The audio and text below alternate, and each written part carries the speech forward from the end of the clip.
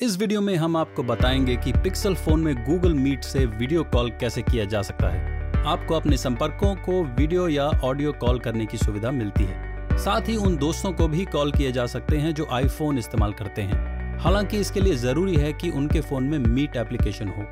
सबसे पहले home screen पर ऊपर की ओर स्वाइप करें और फिर मीट एप्लीकेशन पर टैप करें। पहली बार मीट एप्लीकेशन खोलने पर आपसे ये पूछा जाएगा कि आपको सूचनाएँ चाहिए या नहीं। स्क्रीन पर दिए गए निर्देशों का पालन करें।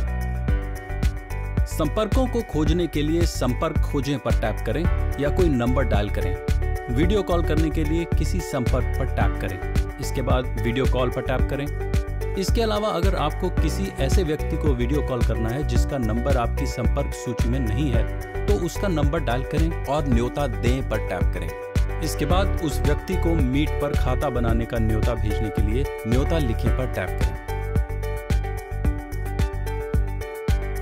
मीट पर कॉल के दौरान इफ़ेक्ट एक्सेस करने के लिए मेन्यू पर टैप करें।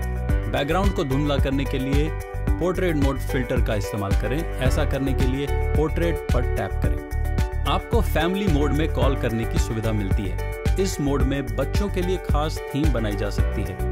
इसके अलावा आपके पास एप्लीकेशन में उपलब्ध अन्य थीम इस्तेमाल करने का विकल्प भी होता है। फैमिली मोड चालू करने के लिए मेन्यू पर टैप करें। इसके बाद फैमिली पर टैप करें।